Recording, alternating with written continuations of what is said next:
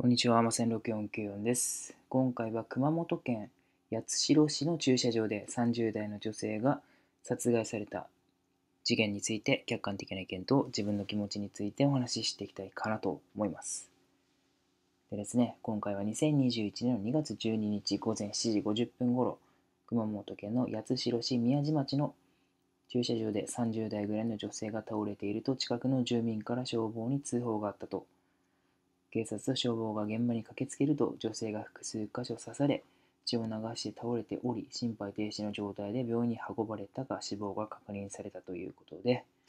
現場は国道3号線に近い住宅街で警察は変死事件変死事案として亡くなった女性の検証を行うとともに殺人事件の疑いもあるとみて調べているということです。でですね客観的な意見としては複数回刺されるってほど殺意があったのかな。この状態で殺人事件以外はどのような場合があるのかといった意見が多かったかなと思います。でですね、自分の気持ちとしては、熊本県ってあんまり事件というかそういったニュースが流れてこなくて、そんなにないのか、それとも熊本県的のニュースが上ってこないのかっていうのがちょっと気になったところなんですけど、まあ、複数箇所刺されてるっていうことで、まあ、基本的にはあの殺人事件の線が濃厚かなと思います。うん。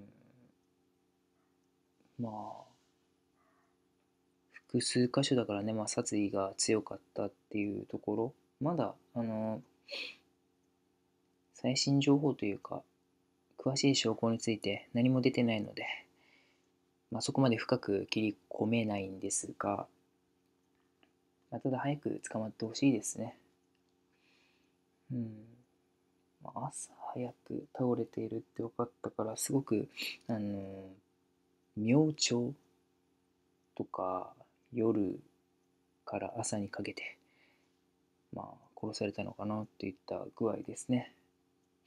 早く捕まってほしいと思います。